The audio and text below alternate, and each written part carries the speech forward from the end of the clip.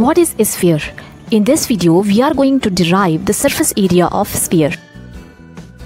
A sphere is a three-dimensional structure which is obtained by revolution of a circle along x-axis. Sphere does not have any flat surface. A sphere has only one surface area which is surface area of a sphere which is 4 pi r square. Cone has a circular base. Its area is pi r square. If we exclude this circle, we will get a curved surface area of cone. If we include this circular base, it will be total surface area of cone. Cylinder has two circular bases. If we include area of these bases, we will get total surface area of cylinder.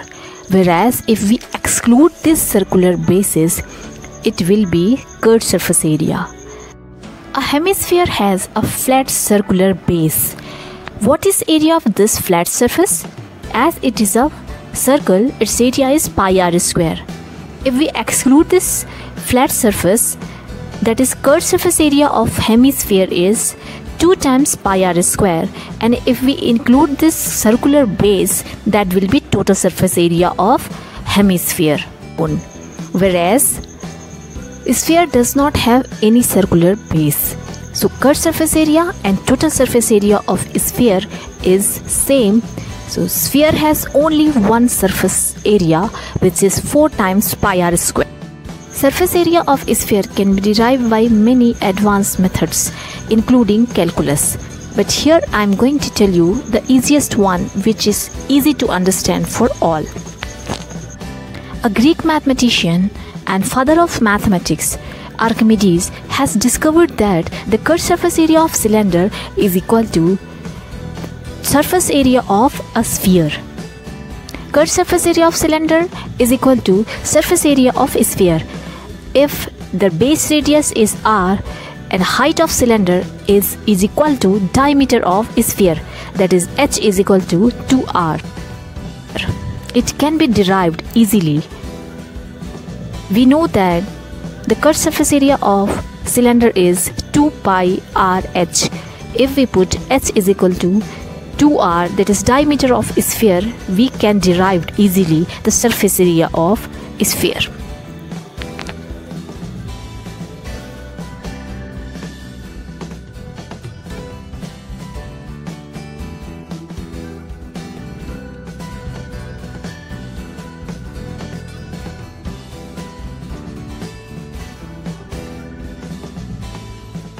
The second activity is take a spherical ball, fix a pin at the topmost point of the sphere.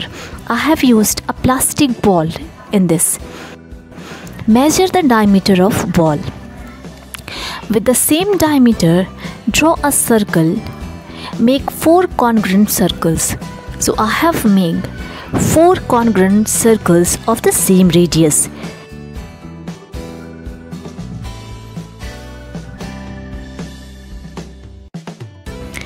Take a roll of thread and wind it completely along the curved surface of ball.